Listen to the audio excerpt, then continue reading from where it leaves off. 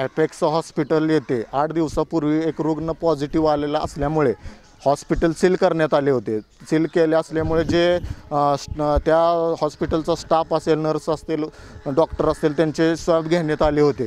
तसेच माझ्या प्रभागातील अंबाबाई झोपडपट्टी येथील दोन न नर्स हे ॲपेक्स हॉस्पिटलला त्यांना क्वारंटाईन केले केलं होतं. परंतु त्यांचे स्वॅब त्याने एम आय टीला पाठवल्यानंतर काल सगळे स्वॅब निगेटिव्ह आले असं सांगून डॉक्टरांनी त्यांना घरी पाठवलं. घरी पाठवल्यानंतर संध्या रात्री उशिरा त्या एका त्या एका नर्सला ल नर्स पॉझिटिव्ह आल्याची समजता त्यांना हॉ- हॉस्पिटलला हलवण्यात आले. तरी ह्या ॲपेक्स हॉस्पिटलने व तिथल्या डॉक्टरांनी एवढा निष्काळजीपणा केलेला आहे.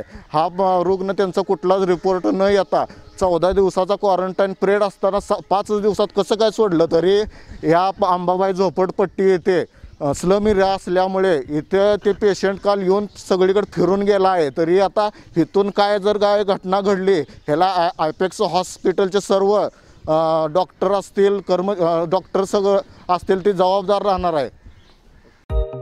आता डीबीपी मार्ट आपल्या हातात.